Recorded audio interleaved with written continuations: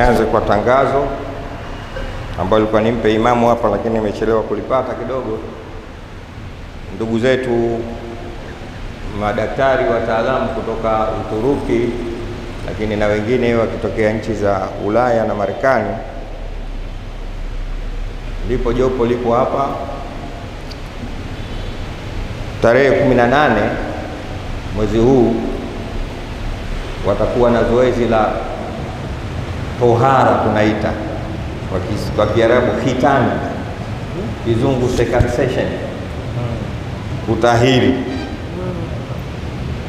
Lipo jopo hili, na hii ni huduma inafanyika sana katika nchi za Afrika. Hii Tanzania imekuja mara ya pili sasa. Inakuwa ni huduma ya kutahiri kwa njia salama kwa vifaa vya kisasa na madaktari bingwa kutoka Ulaya na nchi za Uturuki.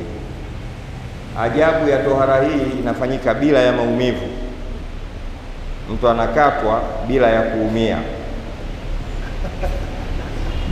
na uponaji wake ni haraka wa muda mfupi, au zidi siku tatu, mtu anakuwa kishasafika na kishasafishwa.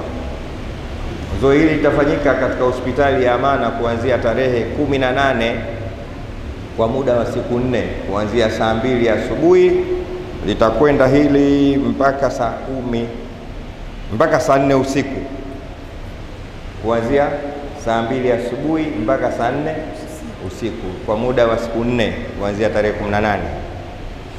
Watu wa aina yote wanaruhusiwa, ambayo mtu anajiona bado hajafanya tohara aende pale, kuanzia umri zero mpaka miaka 99. Wataalamu wao wanasema wanaweza kucheza na vyombo hivyo, umri zero mpaka yule aliyokomaa kabisa nganga nganga, miaka 99 ataweza kufanyiwa. Sawa sawa. Lakini kwa wale ambao bado hawaja hawajafanyiwa tohara, wanaume wanaume, narudia tena, wanaume. Hili wamenijia wataalamu hawa, nilikuwa nao ofisini kwangu na jana wakahakikisha hicho kitu kwamba kitakuwepo, na inshallah na mimi nitahudhuria, nitahudhuria kuangalia utendaji huu. Bure, nasisitiza bure. Mimi nitahudhuria kule, sawa. Eh, kuna watu wengine najua wanaona tabu, jibadilishe badilishe tu, hata unaweza kuvaa kapelo hivi nini ukaangalia hivi ukaingia ukaandikisha, lakini hii ni fursa. Sawa, hawa ni wataalamu kwelikweli. Hii ni mara ya pili wanakuja sasa hivi, nishikie bwana, mara ya pili walikuwa wanafanya nchi za Lesotho, Guinea Conakry, Guinea Bissau, Nigeria. Safari wamekuja tena Tanzania. Kwa hiyo wameniambia niwatangazie misikitini na wanataka watu wengi zaidi kiasi watu mia nne wawasafishe. Semeni inshallah. Haya, kwa hiyo sisi hapa tuwe wajibu tukatangaziane huko, na uzuri vyombo vya habari hivi vinatoa. Nasema na mimi nitahudhuria kule kwenda kuangalia waumini wanavyochangamkia fursa hii. Waislamu, moja katika tabu tulizokuwa nazo sisi ni fursa, namna ya kuzigundua hiyo ni changamoto, lakini pia inawezekana umegundua fursa ziko pale, namna ya kuziendea sasa, hiyo nayo ni changamoto. Hata leo alhamdulillah, asubuhi niliwahi kuhudhuria uzinduzi wa ustawi wa jamii katika maboresho ya umma wamezindua semina yao leo itakayoishi kwa muda kama wa siku kumi kumi na tano hapa mjini Dar es Salaam. Wamekuja wataalamu vile vile kutoka Marekani na kutoka uh, Uturuki hivyo hivyo. Waislamu hawa wanakuja kuwafundisha Waislamu namna ya kugundua fursa zilipo na namna ya kuzifuata. Mmoja katika tabu tuliokuwa nayo sasa hivi sisi kujua zile fursa zilipo na hata tukizijua zilipo vipi tunazifuata, wakati masuala hayo sisi kama Waislamu ndio wenye mwongozo sahihi. Nakumbuka siku za nyuma niliwahi kusomea hadithi ya Mtume Muhammad sallallahu alaihi wasallam inayozungumzia intihazul fursa, kukimbilia fursa. Ameizungumza habari hiyo Mtume Muhammad sallallahu alaihi wasallam katika maeneo hasa hatarishi, sehemu ya kutisha, siku ya Kiyama. Ngoja ninukuu ile hadithi. Mtume sallallahu alaihi wasallam anasema, idha kana yaumul qiyama wa fi yadi ahadikum fasilatun fa in istataa an yaghrisaha qabla an taquma falyaghrisha. Hadithun sahih. Msalini basi Mtume Muhammad sallallahu alaihi wasallam anasema, kwa mfano kitakapofika Kiama na sisi tupo, siku ngumu hiyo, na sisi eh, kwa bahati tu upo siku ya kiyama. Kisha wakati huo kabla hakijasimama kisawa sawa kile kiyama, kama kawaida, kila mmoja kimemkuta katika shughuli zake za kila siku. Mkulima yuko shambani, dreva yuko barabarani akiendesha, imamu yuko mihirabu akiswalisha, mwalimu yuko darasani mkononi kashika chaki akiandika, mvuvi yuko baharini au ziwani akitupa nduano, mwingine akitupa nyavu, mchawi akikwanga. Yani kila mmoja yupo katika mambo, katika hali kama hiyo, na ndivyo kitakavyokuja kiama. Inaitwa azifa, kitu kitakachokuja ghafla. Yani ile wakati wa kusimama kiama, kiama ni ndani ya masaa sita tu. Alama za kiama zishadhihiri, lakini ule msimamo wenyewe wa kiama ni buba. Kwa hiyo utaamka asubuhi, unaona mambo yashaanza kubadilika. Hapana, mnasikia kiama ikia azifatul azifa. Ndio maana Mungu kakiita kwa majina mengi, tama, khafa, haqa, yote majina ya kiama. Waqi'a, idha waqa'ati eh, amma yatasaaluna ani nabai ladhim, habari kubwa ndo kiama hicho, kina majina. Hmm? As-saa kwa hiyo kitakuja, angalia jina la mwisho la saa, kitakuja katika kitambo kidogo. Sasa kimekukuta wewe katika hali ya mambo yako ya kila siku. Akataja mfano wa mkulima, kwa sababu Mtume Muhammad sallallahu alaihi wasallam aliishi katika jamii ya ufugaji, ukulima na wafanya biashara. Sasa kwa mfano, kinatokea kiama na wewe uko kondeni kwako au shambani na mkononi ushashika nini mbegu unataka kuipanda, ushainama unataka kuifukia, mambo yamejipa. Mtume sallallahu alaihi wasallam anasema usikimbie, ipande hivyo hivyo, hiyo ni fursa Mungu kakupa, usiiache. Sijui inaeleweka hii hadithi eh? Hebu tizama, hiyo ni hali ngumu. Kiama mzee, Mtume anasema usi usikimbie, kama uko shamba endelee fanya, kwa sababu ni ni fursa. Kama uko darasani unaandika, usiache, andika, somesha, watu wanaweza kuelewa nini hiyo. Ni fursa. Basi hata kama uko katika mambo yetu yale ya kuzaa, endelea, msalie Mtume Muhammad. Naona hapa mtafahamu vizuri, umeelewa shekhe? Usikimbie, kwa sababu ukikimbia hapo utakimbia uchi uchi, sawa?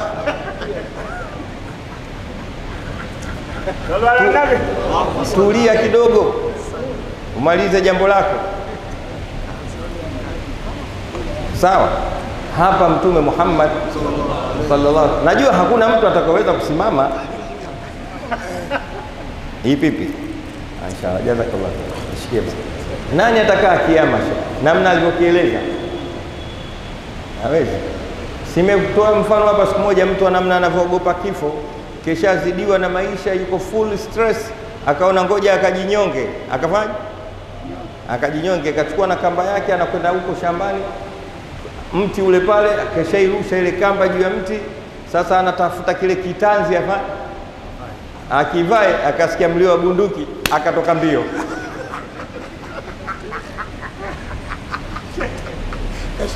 Umeelewa? Lengo lake kufanyaje?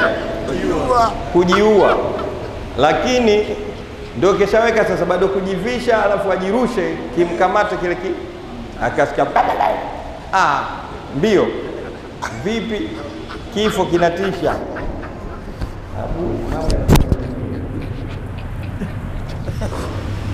sawa sawa. Kwa hiyo hakuna atakayeweza kukaa. Mimi najua hivyo, wallahi. Hata jana sisi tulikuwa tuko maulidini sehemu fulani, wale watu wa maulidi wale wakaja na udambu udambu wa kupiga fataki, tulikimbia wote. Sawa, hiyo ya kuvaa sauti nzuri. Kwa hiyo jamani, tutumie ni fursa eh? Tutumie kwa mfano, leo duniani, katika dunia ya Tanzania kuna zoezi la nini? Umeona hapo, ndo nitajua. Inatosha, hii inatosha. Leo kuna zoezi la nini Kujiandikisha. jamani? Kuna zoezi la nini leo? kujiandikisha Kujiandikisha kupiga kura katika daftari eh? kupiga kura. kujiandikisha. Kuna uzinduzi leo Tanzania jamani wa kujiandikisha katika daftari la kudumu la kupiga kura, ili tu hapo mwezi wa kumi na moja tunaenda kuwachagua wenyekiti wa mitaa yetu, ndivyo sivyo? Leo jambo hilo limezinduliwa, limeanza, nyinyi hamjui. Fursa hiyo mnaiacha. Mzee Mwogo Mchungu, njoo huku mbele. Hebu nendeni mkati, njoo huku bwana mzee Mwogo. Mimi nataka tuongee na vitu, kuna vitu vinaitwa current affair. Current dunia ndio inataka hivyo. Nani ikienda kujiandikisha leo? Kaa bwana na kanzu yako ya kijani. Asante kaka. Kakangu. Hebu tusogeni tusikilizane, tunataka kuzungumza fursa. Wenzenu sogeni huko nyuma, msogee mwelewe. Bila ya kukimbilia fursa, hamtoweza kupea haya maisha, hamtoweza. Mwalimu, niko sawa sawa? Watu wanakwenda kujiandikisha, nendeni mkajiandikishe ili mpate kuwachagua watu watakaowasimamia huko katika maisha yenu ya kila siku ili pale mtakapokuja kupiga kelele ziwe kelele zenye mashiko. Sikwambii chama gani, chama unakijua wewe mwenyewe eh.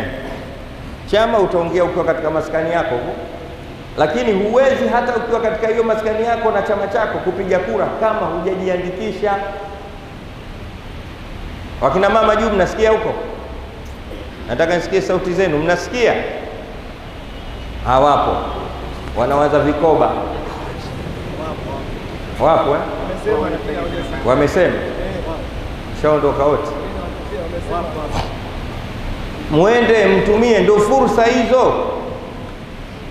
Unataka kumchagua kiongozi wako, kajiandikishe basi, kahakikishe umo katika daftari. Ukikamilika umri wa unaokuruhusu kupiga kura na kuandikwa mle, Muislamu nenda. Ili inapofika wakati wa kusema useme. Msipokwenda wengine wanaenda, ndio kila siku nyewe mtakoko nyuma mna. Mnasemea huku. Hapana, fursa hii. Idha kamatil qiyama wa fi yadi ahadikum fasila fa in istataa an yaghrisaha qabla an taquma falyaghrisha. Shehe, umeelewa? kutoka Morogoro eh? Nenda kaseme maneno hayo. Fursa ndo hizo, na huo ni kwa mfano mdogo tu. Kuna mambo yanaendelea huko duniani, nyinyi mnajitoa. Nendeni mkajiandikishe na muwachague watu watakaoweza sasa kuwasemea na kuwasimamia. Ndio maana ya uchaguzi, ndio maana unakuja wazi kabisa na muongee lugha zenu. Mmenifahamu eh? Na mimi nasema hapo sasa kama kiongozi wa mkoa huu wa Dar es Salaam upande wa imani na roho zenu, sababu na mimi ndio fursa kanipa, ndio fursa yangu Mwenyezi Mungu. Nisiposema hivi nitakuwa sijawatendea haki, niwe nawaswalisha tu Allahu akbar, nikitoka pale sijui habari zenu huko za maisha. Hapana. Mtu mmoja anasema wayuqdha al-amru inda ghiyabi taimin wala yustasharuna wa hum shuhudun, msipojiandikisha mambo yatamalizwa ikiwa nyie hampo. Mtakuwa mambo yanamalizwa huko, wanakupangieni biashara zenu, ndoa zenu, maisha yenu kwa ujumla, katika mabunge huko, ikiwa nyie hampo, na kama mmeitumia vibaya fursa yenu, mkamchagua mtu ambaye sio wa kuwasemea, akaenda kule, wakati anazungumzwa yeye analala. wala yustasharuna wahum, mkawatangulize watu watakaoweza kuwasemea, sio yule mtu ambaye kwamba akifika pale sasa yeye hajui chochote, anasubiri kutia fatha tu. Tulee fatha hapo, anaanza wa ila habibina Muhammadil Mustafa sallallahu alaihi wasallam alfatiha. Hasa kubungeni hamna ubani, ataupata? Baada ya hapo achangii chochote. Hii ni fursa, nendeni mkajiandikishe katika maeneo unaokaa, fanyeni hivi. Nimeona hili niliseme. La mwisho ni kukazia maneno yetu hapa juu eh? Nadhani wote tumeelewa nini nimekusudia kukisema. Twendeni tukajikague, wanavyotuona watu ndivyo tulivyo. Nendeni au twendeni sote tukajitizame tizame mzee mwogo eh? Eh. Ndo mwogo mwenyewe weye au kiazi. Salim Mtume Muhammad, mmenielewa vizuri? Unaweza kuwa unapelekwa pelekwa, "Ah, jamaa, kumbe sio mwogo. Mmenifahamu vizuri? Kiasi. Jafari ni imamu au ndio tena mazoea yakitokea mambo Ngoja ni kile kisa cha mtu alioambiwa huko siku za nyuma kwamba "Eh bwana wewe mtama. Nani? Mtama. unaujua mtama? Mm. akaaminishwa akaaminishwa mpaka akajiona mtama kweli. Mtama. Yani ikawa yeye mwenyewe anajiona? Tama, tama, katoka katika ubinadamu kajiona nani? Mtama. Ilikuwa akimwona jogoo kuku anakimbia. Kwa sababu anajua kuku anakula nini? Si imeeleka vizuri si mzee mwogo inaeleka eh. kila akimwona jogoo da, ilikuwa kazi kubwa. Jitu zima kama mimi linakimbia kuku basi ikabidi afanyiwe tiba. Mtume sasa tuwapate wale makansela wamfanyie cancellation ya kichwa chake. Kweli akapata waalimu wazuri wakamsomesha wakamsomesha mpaka akajiridhisha yeye sio mtama bali ni binadamu. Kabisa. Ikawa ana wasiwasi kwamba mimi bwana sio mtama bali mimi ni binadamu nayekula mtama. Hata huyo kuku namla mimi. lakini siku ya kwanza kuambiwa hayatoka nje Hamad kakutana na kuku. Mbio. Vipi? Huyu mimi sina wasiwasi. Najijua. Lakini yule mwenzangu mshamwambia kama mimi sio mtama. Yule kuku. Chemwego mtu unaelewa mimi sina maneno lakini yule kuku anajua kama mimi sio mtama? Hapa kuna faida moja kubwa. Wanavyokuaminisha watu wewe jichunguze vizuri ndivyo ulivyo. Na siku ukijigundua sivyo ulivyo watambulishe wale. Mimi sio hivyo mnavyoniona mimi ni kwa hivi. Kuwa mkweli katika hilo ndio mtume kaambiwa kul innama ana basharun mithlukum lakini yuha ilaya melewa Manake walikuwa wanamwambia ambia maneno watu, wama lihadha rasul yaakulu taam wayamshi yamshi fil aswaq. Wanamdharau mtume kwa mtume gani yakulu taama, anakula chakula kama sisi, wayamshi fil aswaq, na anakwenda sokoni kununua mchicha, bilinganya. Yani mtume atakuwa hivyo? Mtume anakula, mtume anaenda kununua mwenyewe mboga sokoni, yani wanambwegeza bwegeza hivyo. Nzuri hiyo mtume mpaka kununua nunua mboga. Mwenyezi Mungu akamwambia "Ah, waeleze, kul, waambie inama ana basharun, kweli mimi ni mtu kama nyie, ni lazima nifanyeje? Nile, lazima nifanyeje? Niende sokoni, lazima nifanyeje?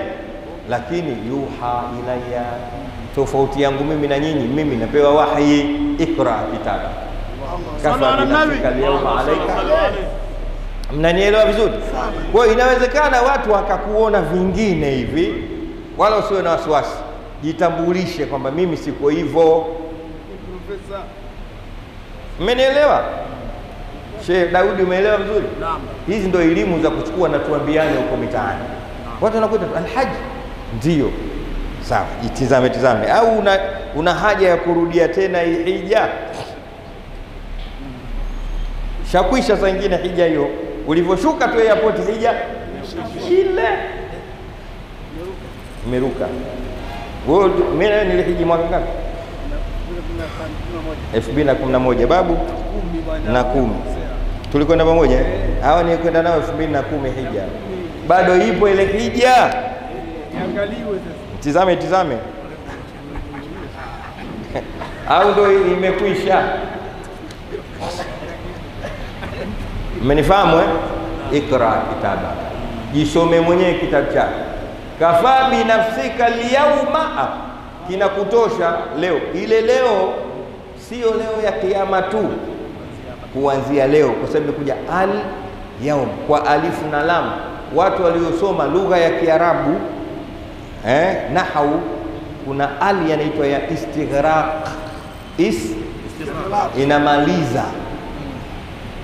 Melewa Ay min hadhihi alayami allati nahnu naishu fiha ila yaumi alqiyama, kuanzia siku hii mpaka siku ya kiyama. Kwa hiyo usingojee siku ya kiyama, kitabu chako kiperuzi kabisa sasa hivi, na una penseli na ufutio, unaandika mm, mm -mm, unafuta na uzuri kufuta kinafutika kabisa. inna Allah yaghfiru dhunuba jamia ulaika alladhina yubaddilu Allahu sayiatihim hasanat, Mwenyezi Mungu anakubadilishia yale yale mabaya, ukiamua kuyafuta yanageuka kuwa mema. Yale yale uongo uongo unakwenda ukweli, lakini sharti ujipange kwa kutaka msamaha wa kweli kwa Allah subhanahu wa ta'ala, kisha unaishi katika maisha ya ukweli. Haya ndio nilikuwa nataka kuyasema leo. Tutumieni fursa zetu, lakini pia muda bado tunao. Juzi mtu mmoja nimemuuliza wakati tunaenda kumzika nani huyu Dida eh? Ah, nini? Watu wanaangalia habari ya msiba ule, na watu wengine wamenipiga pija, kwa nini nimeenda kumzika Dida? Ndio tatizo. Wao wameangalia upande mmoja tu kwa Dida vile alivyo, hawakutizama mimi nilivyo na nani eh. Dida tuna udugu kwa hiyo mtu utakiwi kuzika ndugu zako, shehe, utakiwi kuzika ndugu zako hivyo. Nyie ndugu zenu wote wanaokufa huko, watu wa peponi, ndio hivyo. Hey, jamanini, jamanini, mwogopeni Mungu. Mimi ndugu yangu, nifuateni, fuateni Vipi ndugu yangu? Na udugu wa Kiislamu na na udugu wa muswahara. Kuna udugu unaitwa muswahara wa ukwe. Nishaoaga mimi kule.